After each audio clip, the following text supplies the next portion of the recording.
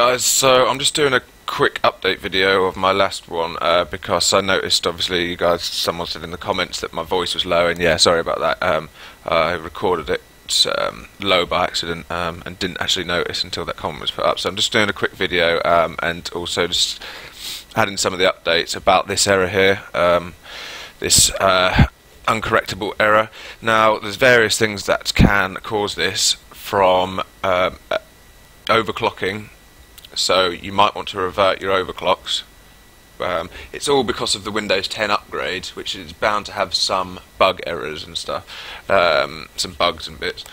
Um, so, and there's also another fix that one that worked for me, or partly it was part of the fix for me. For me, the fix was updating the graphics drivers and also flashing your BIOS. So just quickly, I'll show you again how to do, if you don't already know, um, uh,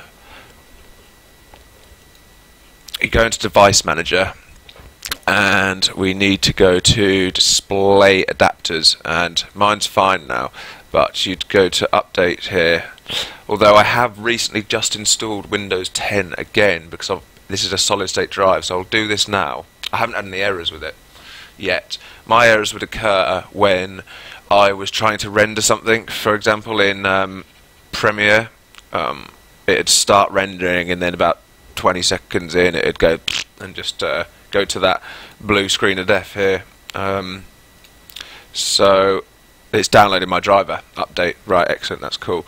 And the other thing which you need, to, which you could do, which also helped me, because there's also another error called the uh, timeout error or something like that. I've put it in the description. Um, where's my older video? Um, it's called the um, clock watchdog timeout.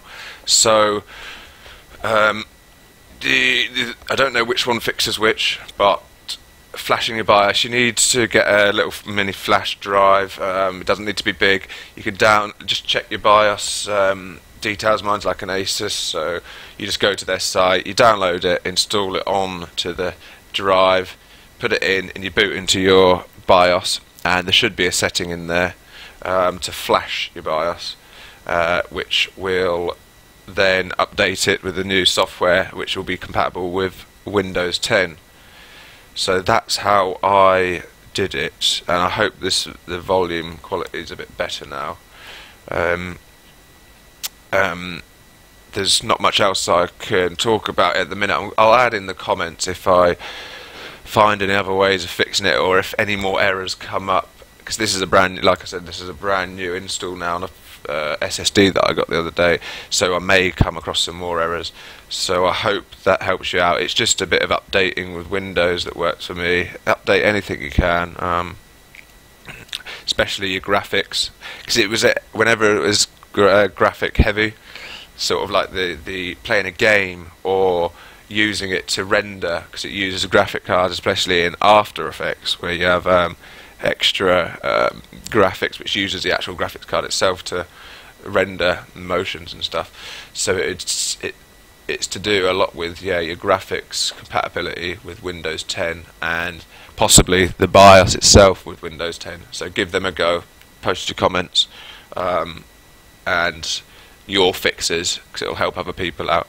Uh, and yeah, uh, like, subscribe uh, if you like because uh, I had a lot of different fixes and stuff. Um, I'm pretty new to YouTube, but uh, I'm trying to help out where I can. And yeah, I'll uh, see you next time. Cheers, guys.